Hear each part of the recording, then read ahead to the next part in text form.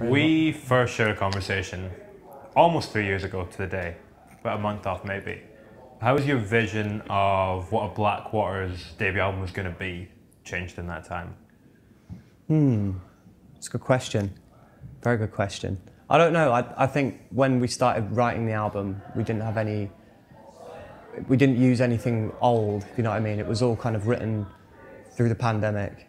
Um, so I guess that kind of led the way, didn't it? But I mean, I guess we would have expected it back in the day. We would have expected it to be a bit more um, punky as Yeah. such. So almost- also back then we didn't even really have it in our sights. Obviously we wanted to do an album, but like what it would actually be, Yeah, what, what it's become is definitely not. I don't think we would have pictured it no, definitely. not. technically. Yeah. When did what the album is now first come into view? When did it first start to take the shape that it now currently has? What do you What do you mean? In like, terms of the sound of it and the feel of Ah. it and how it was going to kind of all fit together, at what point did you first start to get a clear picture of what that was going to be? I remember it. I think it was just when we started playing with synths on top of it. was as simple as just putting like a lead line on a synthesizer on top of the guitar line, and then over time, I guess we explored with that. And Ollie got you got a reface. didn't you? I had like a MS20, and like yeah, we were just playing around whilst we whilst we were writing our normal way, um, and we just naturally fell into this new new sound that I think was for the better. It's way more exciting, I think, having a synthesizer and like than just one guitar and you know. Do you think that lockdown was an influence on that? Because that's when I got my reface. Exactly. Yeah. We were like, we kind of sat more inside. Yeah. Even though we lived together and we could like shoot off to the studio whenever we wanted. Mm-hmm. well, we used to just chill in your room and just like make these little sounds and Just- stuff like that. And Just playing, not being Yeah. like, this is the album. We were just like messing around. Mm-hmm. then we then we applied it to the writing and it and it really paid off. So yeah, I guess it was it was natural, natural fun.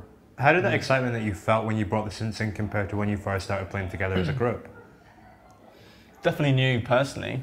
I've always been like guitar and like bass focused. So having something keys based where the sound is like, you have your notes and then the sound comes after mm-hmm. almost. Like guitar and bass is like you, you're playing it and that is the sound. Even though you can get your sorts of amps and pedals, it's like the synth is just everything from, do you know what I mean? Like drum and bass, dirty subs to like super squeaky, nice, clean leads and stuff. It's like in one thing.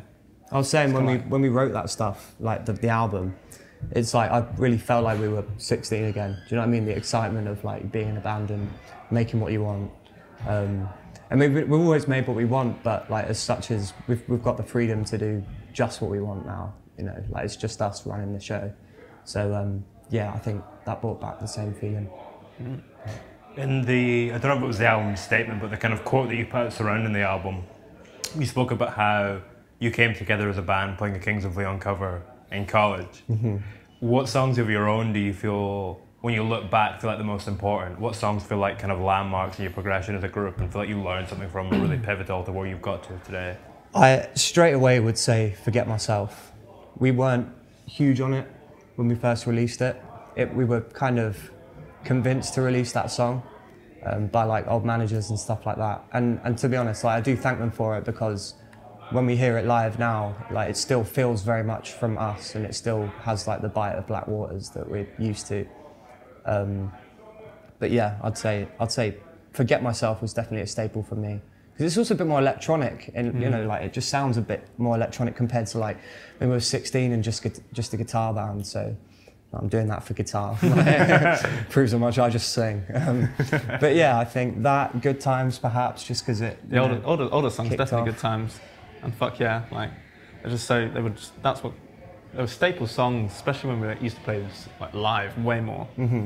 I think the, the newer stuff, All the Wrong People, and Something Good and Lost Time are like, you know, the start of the album, end of the album, that is like, encapsulates Mm-hmm. all of it. I think it's such a good beginning and a good end of the album, so you need to sit through all of it to get the best bits. Like, but, Skip, um, skip, skip, skip, skip, play. Yeah. yeah. One of the songs that kind of falls somewhere in the middle is Home is Where the Heart Is, track seven or something, I think. I wanted to ask about the recording process for that one and how it came together because it does have a slightly different aesthetic to the That rest was, of the record. that was actually a really nice day.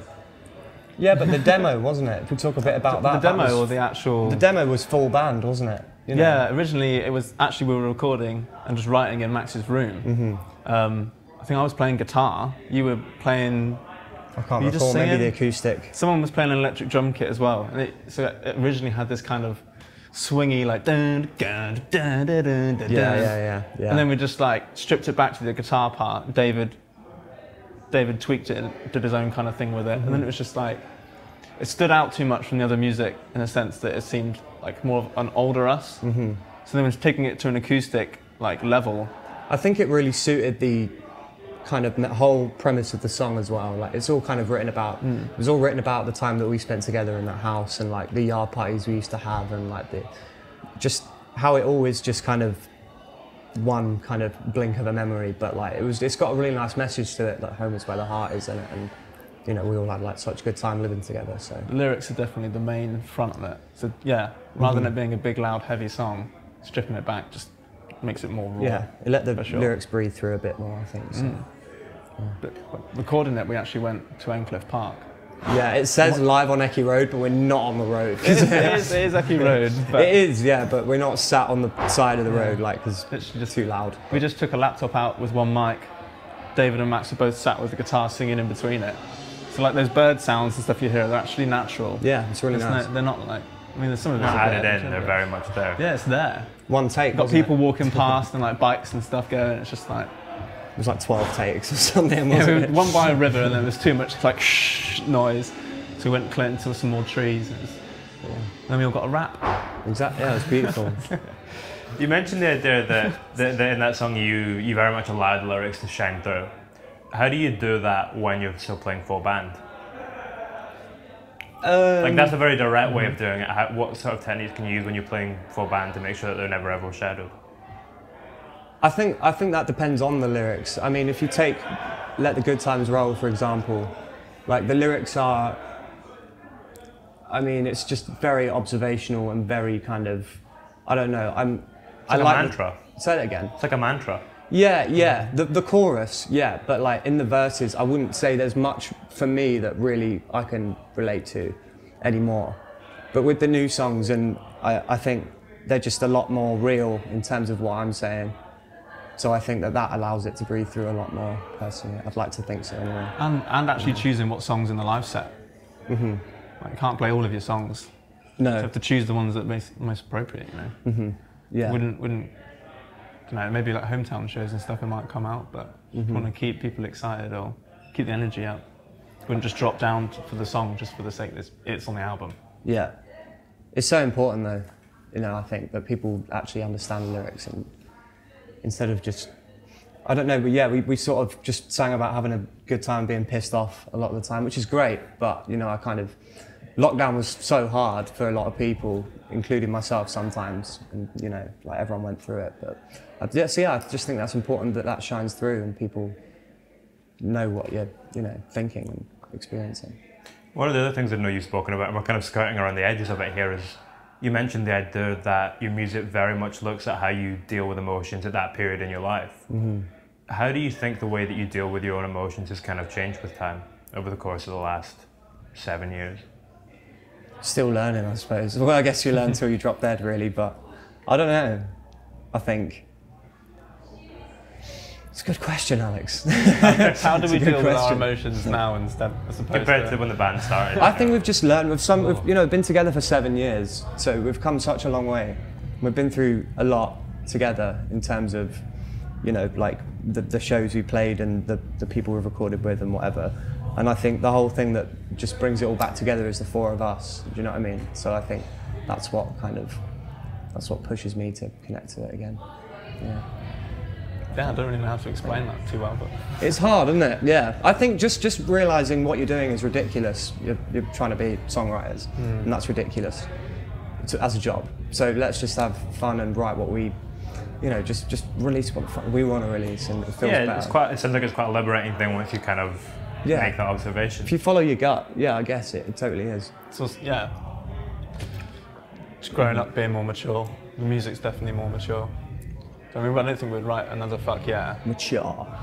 What's mature? Growing up, but like, yeah, I don't think another fuck yeah would come out anytime soon. Basically, Has what the word punk means to you changed in the last few years? Yeah. I, yeah, I guess so. I don't know. I don't know. I would hate to. I would hate to like I always thought it was a bit cringy calling yourself a. But I guess we were a punk band. You know, we were like Hmm. The sound of loud, punk. and it was we were the sound of punk. Yeah, but we didn't. You know, yeah, we were students and we dossed around, but I don't know, we weren't punks, but we were definitely playing, you know, loud, raucous music and whatever. So I guess that's the first thing that we latched onto. But you know, it was. I guess it was just a, a mood and an environment, wasn't it, to, to feel like punk.